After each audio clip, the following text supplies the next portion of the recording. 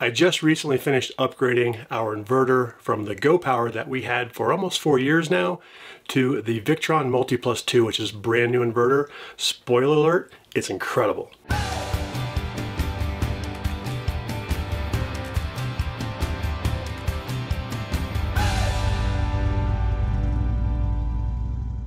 I am super excited to share this with you guys. You probably haven't seen this much excitement in me since we had our internet video. You know I'm a geek and I love tech. Along those lines though, because this is such a complicated video and it involves AC power and DC power and all that good stuff, if you're not comfortable with that stuff, by all means get a professional to help you. Like usual with these kind of things for us, this is not a how-to video. We're not going to show you every step. This is a how we did it video, and I want to cover our install, but I'm going to do that briefly so that I have time to show you all the cool stuff and do some demos. Also, this is not sponsored in any way by any company. We purchased our inverter and of course batteries and all this stuff uh, from various companies. We do have affiliate relationships with a lot of them, so we'll have links below. But I do want to give a shout out to Jared from All About RVs. He got a hold of this inverter a lot sooner than I did and had a video out on it a few months ago. I reached out and bounced a few ideas and questions off of him and he was super helpful. If you haven't seen his channel, be sure to go check that out. I'll have a link below. The model that we're talking about here is the 12 volt, 3 kilovolt amps 2X120. I'll break that down for you. What that means is it's a 12 volt model, not 24, 48, anything like that. It's also 3 kilovolt amps Victron rates their inverters in kilovolt amps, which is quite honestly a little bit more honest. I think a lot of companies use that same number or they use watts when they really mean kilovolt amps. I'll get into that a little bit more later, but I'm not going to go way into the weeds on that. And the last is one of the most important parts, the 2X120. This inverter is a full 50 amp pass-through. It has 220 volt lines in, 220 volt lines out. So first off, why on earth are we swapping a 3000 watt or kilovolt amp, a 3000 watt inverter for another 3000 watt inverter? Why would we do that? Well, a couple of reasons. First off, when we did the Go Power four years ago, it was really the only inverter of that size that I found that did full 50 amp pass through. If you don't know what that means, I'll put our wiring diagram on the screen here, but basically that means I don't have to have any sub panels or any kind of crazy weird wiring or break out some circuits and power some things and not other things. It goes straight from the ATS, the automatic transfer switch, straight into the inverter and then straight into the distribution panel. So everything in the RV is powered by the Go Power when we had it and of course this new one. Victron just came out with this. Prior to this, they did not have a model that had full 50 amp pass-through. And it's not just that, Victron has a couple of legs up on Go Power. First off, some of my gripes with the Go Power. The interface wasn't great. It was kind of hard to tell what was going on the, on the screen that used to be here. There was no logging ability, no ability to control it remotely, no way to see its interaction with other items like our solar charge controllers or our shunt. Also, the Go Power had no way to upgrade the firmware. So as they make improvements to the models and to the firmware, both on the display and the inverter itself, the only way to get those updates was to send it back, have them send you a new one, do work out some kind of swap, and that's obviously a huge pain, particularly on the inverter itself. Additionally, the Go Power had a little bit of trouble interacting with our generator. The generator sometimes, you know, the power can fluctuate up and down. It gets little spots in the gas or whatever, has a little bit of hiccup. The Go Power would just take over. And it would do so at the most inopportune time when three ACs are running and it would just shut everything down. So let's chat about the Victron and why I got it to fix some of these issues. Number one, firmware updates galore, all over the air. You just click download, install, and it's done. This is all done through the Victron Connect app, which is another benefit. The Victron Connect app can see the Multiplus, the solar charge controllers, the shunt, and when we get to the Cerbo GX, it's gonna bring all that together in a really, really cool interface where I can see everything at once. It also interacts with the other Victron components that I have. I mentioned the solar controllers, which you saw in the solar video. Hopefully, if you didn't, I'll link it below. Also the Smart Shunt. All the Victron components can work together in what's called a VE Smart Network so that the inverter can know about the battery levels through the shunt. They can both know about the solar charge controllers and they can all work together. Another big, big difference, and this one is huge, This is one of the biggest improvements that I was hoping for, and that's power share. So power share is when you're connected to something like 30 amp or generator and you want to run just a little bit more than what's available via 30 amp or generator or whatever, power share comes into play. Now both of these inverters do power share and both of them only monitor line one. However, the Go Power, it's just all line one all day. Coming out of the Go Power, it separates both lines and even when you're inverting or connected to something like 30 amp where the two lines are bridged anyway, it's still only monitoring line one. And that presents a real problem trying to manage your power and figure out which line things are running on. Now the Victron, it bridges line one and line two. When it detects a connection like 30 amp or generator where the phases are in phase from both lines, it bridges those and just jumpers them together and considers them one line. So now with the Victron, I can run PowerShare for the whole RV. I can just connect the 30 amp run other stuff above 30 amp and the Victron handles it regardless of which line it's on. And we're going to demo that at the end. It's really cool. I will also say though that GoPower's customer service has been top notch. I can email them. I can get an email back in the same day. Victron is a little different. It's a ginormous company. I think it's in the Netherlands or Switzerland or somewhere. I don't know. There is no direct customer support through Victron. You have to go through your dealer or whomever you bought your inverter from. For us, that's Battle Born. Luckily, Battle Born does have great customer service, and I've been able to email them and bounce ideas off them and, uh, and get this all going, because the Victron stuff can be a bit confusing, and I'm going to get into that also. So let's chat a little bit about the install. As I mentioned, I'm not going to go into a huge amount of detail here because every install is different anyway, and we were also moving from one inverter to another, but I do want to talk about a few tips that I found along the way and cover just a few points. First is the location of the inverter. If you noticed in our solar video, we moved the Go Power inverter from the top of the generator box up to the ceiling, for lack of a better term. It's, you know, the, the upside in the uh, front bay there. And that got it out of the way, but there were a couple of problems with that. One, it was mounted right to the frame, right under our bed, so any vibrations from the fans running or anything like that were transmitted directly into the frame and seemed to resonate around our heads. So that turned out to be a problem. Also, the Victron inverter does not lend itself to that type of mount. You can't really mount it up on a ceiling like that. It's designed to be mounted flat or on its side on a wall kind of thing. But since this inverter has a bit of a different shape to it, it's a little bit thinner, it's only about five inches deep, uh, I was able to mount it on the side of our generator box. All I had to really do to prep that area was move my generator starter cables because they came right out the side. I had to move those to the back and then I put a nice thick half inch piece of plywood to mount the inverter to as well as the Cerbo GX.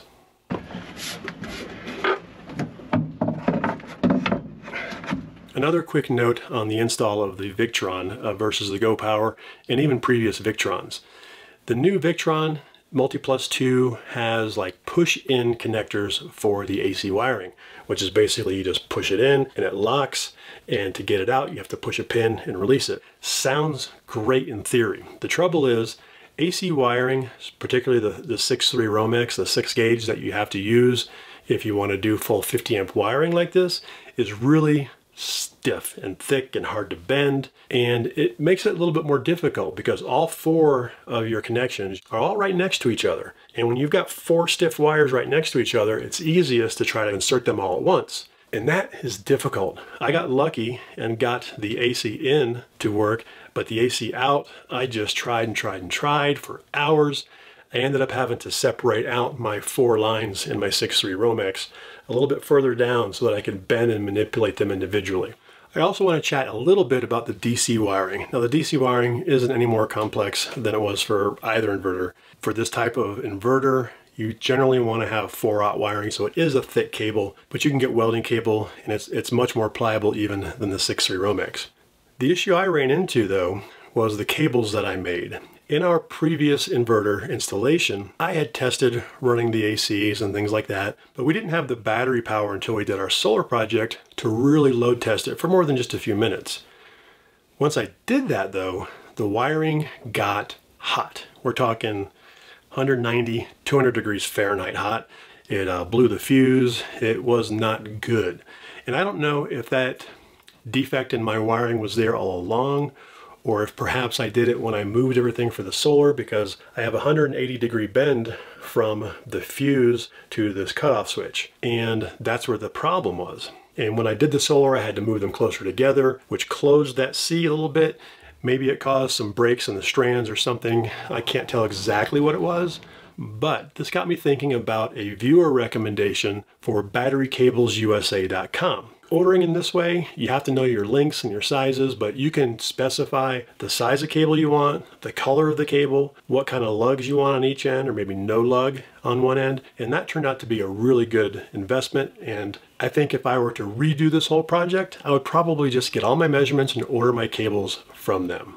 But with these new cables from Battery Cables USA, all my temps are nice and low. I mean, they're getting warm. It's, you know, 250 amps pumping through there but they're all staying around 100, 110 degrees Fahrenheit, so I'm good with that. That's all I really have for install tips on this. Most of it was pretty straightforward. A lot of it was already in place, you know, swapping one inverter for another. But I do want to take you on a tour now and just show you that front bay and all the stuff and how it's connected. I want to give you guys a quick tour of the power setup, both DC and AC side of our entire system here. So first off, on the DC side, everything goes through the bus bars. You got a positive bus bar here, negative bus bar here, uh, rated at 600 amps, plenty of uh, capacity through that bus system. And everything feeds off that bus or feeds into that bus, depending on, of course, charging or discharging. So let's start with the solar. You'll see that I've got a couple of lines coming in here. These are our PV lines or photovoltaic lines coming straight from our solar panels. Those go through this breaker and then feed these two solar controllers. These two solar controllers basically control everything down to 12 volts and whatever amperage we can get out of that depending on the sunlight. That 12 volt supply goes through this set of breakers and straight to the bus bar. You can see the negatives coming straight down and then the positives go through here to the bus bar. So that is the solar side, and of course it's supply only. Now let's take a look at the battery section. 10 100 amp hour Battle Borns are also connected directly to the bus system. Positive side goes through a switch, so that's a master cutoff. And the negative side goes through this smart shunt. This is what gives the Victron system the ability to monitor all power going into and out of the batteries. Nothing touches the batteries that doesn't go through that shunt. The negative side, this connection here, comes right down and goes straight up to the batteries. So nothing gets through the batteries without going through the shunt, and that's the whole idea. So that's how the batteries are charged and discharged through that system. Whenever the DC system needs more juice or is getting more juice, it all goes through there. Now the inverter DC side, you'll see we've got coming off the positive through a 400 amp class T fuse through the switch and then goes straight down to the inverter. Uh, the negative side of the inverter just connects right up there and that's all we have for connection to this guy. And of course, this guy is the inverter and it can either supply charge to the batteries or use charge when inverting or in power share mode. Now the AC side, the alternating current 120 volt side is super simple. We've got a 6.3 Romex, which is six gauge three wires, meaning it's got hot one, hot two, neutral, and ground. Yes, I know it's four wires, but it's called 6.3. I guess the ground doesn't really count. That comes through straight from the ATS or automatic transfer switch. So the ATS will have power either from shore power or from the generator. And then that comes in and goes straight in to the inverter. And then coming out of the inverter goes straight back up and right to the distribution panel. So everything AC powered goes through here, just like with the Go Power. And that way it can supply power in power share mode or inverter mode straight out and power the entire RV. So now let's jump into some of the really cool stuff that makes the Victron gear uh, so appealing. One is the configuration and management of their products. They've got an app called Victron Connect and most of their newer products like our charge controllers and our smart shunt have Bluetooth built in. The MultiPlus 2 that I installed has a Bluetooth dongle that you can install and then you can connect to that via Bluetooth also. So unlike the Go Power, where I could only configure things through the screen, and if there were any updates to that system, I had to get a whole new screen or a whole new inverter, The Victron stuff, you manage everything through the Victron Connect app, through Bluetooth. It's super, super convenient, super easy. The MultiPlus 2 is a little bit different for some reason in what you can do over Bluetooth. So when you connect the Bluetooth dongle, it recognizes it, you see it in the Connect app. You can see all kinds of data. You can see the power in, the power out. You can change things like your amperage threshold. You can turn it off, you can turn it on, you can put it in inverter mode but you can't configure it, which is a bit of a bummer. I'm not sure if they'll improve that in the future or not. But to configure the MultiPlus 2, you need a thing called an MK3 to USB dongle. And what that does is it lets you connect your laptop over USB to the dongle and then over VE bus, which I'm going to get into, to the inverter. From there, you can configure and tweak all of your settings. So having all these devices configurable mostly and accessible over Bluetooth is really, really cool. But I really wanted to have the really cool displays that I've seen online where it actually shows you all the individual components, how they're working together, which way is current flowing, what power is going where. I wanted that. That part gets a little bit confusing, but I'm going to try to demystify it and straighten it up a little bit. Victron products use three different communication protocols uh, actually four, to speak to each other. The first is the Bluetooth that I mentioned. Just those Bluetooth dongles, I can create a VE Smart Network, and they can all start talking and sharing information amongst themselves. However, if you want to see that information and have a really cool display and have it all configured, like here, you need a GX device. There are several different GX devices, and their whole goal, their purpose is to kind of consolidate and bring all that information from all these different devices make sense out of it, and put it in a display so you can actually see what's going on. The two that I was really looking at were the GX Display, which has the display built into the unit. The trouble with that is all my gear is up front and I want the display to be right here and everything has to be connected directly to the GX device. So running all those lines up here wasn't an option. So the best bet for me was a new device they have called a Cerbo GX. This is a displayless device that mounts up front everything connects to it, and then this display connects over HDMI to the front. So we're going to get a bit into that, but first I want to talk about these different protocols and what was really confusing to me about Victron products. They have three different protocols to connect to this GX. They have the VE Direct, which is basically a little four pin cable. And that's gonna go to some of your devices like your smart shunts. That's how I have it connected. It also will connect to some of the older model smart controllers. Uh, but the newer smart controllers have what's called VE CAN. Now, VE CAN is a CAN bus implementation, which is a standard, and it's a serial protocol, meaning you can line all the devices up and connect from one device to the next device to the next device, and then to the GX. And that's what I have connected for our solar controllers. The third is VE Bus. It's Victron's proprietary bus connection, and it's more of a hub and spoke. So you would connect from the GX device to each MultiPlus or whatever you've got going on. The nice thing about both VE CAN and VE Bus is they are standard Ethernet cables and those are pretty easy to come by. You can also make your own. I like to make my own so the exact same length. So now that you understand a little bit better how all the devices connect to the GX device, let me take you back up front and show you that wiring. All right, a little tour of the Cerbo GX and how I've got it connected to all of this stuff. You can see it's mounted right here it gets DC power straight from the DC bus bars right here. Its connections are all coming out of the top here. So first of all, you see this little line here, that is VE Direct. And it connects straight over here to the Smart Shunt. Also here we have the VE CAN connection, the CAN bus implementation. And you'll see that I've got a terminator here and then this runs to here, and then from here over to here, and then another terminator. So all of these things are in series to communicate on the VE CAN system. The VE bus system is this guy right here, and the only thing connected to it is the inverter. So the Cerbo GX. This is where it starts to get really cool and really fun, and this is where my tech geekness just really loves it. The GX device, as I mentioned, gets the inputs and data from all these different devices. And it you know, build you a picture of what that looks like, but how do you see it? Well, one way is through this device right here. I've got this connected via HDMI directly to the Cerbo GX, and that's really cool. I wanted to have something in here because I was used to coming here and looking at the Go Power display, so I wanted something up here. But the really cool thing about the Cerbo GX is you can connect to it from just about anything from just about anywhere. And here's how that works. You can connect to it directly, meaning you can connect to it over Wi-Fi.